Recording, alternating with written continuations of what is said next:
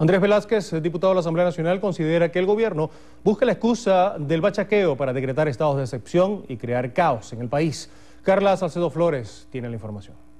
Crear condiciones en el país que le permitan posponer el proceso electoral o en todo caso pretender realizar un proceso electoral cercenando eh, las condiciones o garantías constitucionales que tienen estar, que estar establecidas de forma plena para todos y cada uno de los venezolanos en la celebración de un proceso electoral. Según Velázquez, los estados de excepción no resuelven la crisis de escasez de alimentos y productos que afecta a los venezolanos.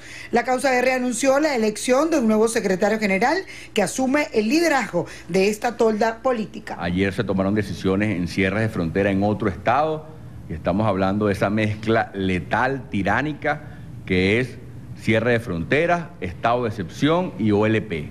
Eso es cualquier cosa menos democracia. Y los venezolanos nos merecemos unas elecciones, sobre todo a las puertas de lo que va a ser un cambio histórico que ya tiene fecha, que es el 6 de diciembre y que todas las encuestas ratifican que es irreversible merecemos y exigimos desde la causa R que esas elecciones se den en un clima de garantías plenas. Desde la causa R consideran que la situación en la frontera colombo-venezolana es solo una consecuencia de lo que ocurre en el país. Por ello aseguran que los cambios políticos en Venezuela los sentirán los venezolanos a partir del 6 de diciembre. Desde la avenida Lecuna, Carla Salcedo Flores, Noticiero Venevisión.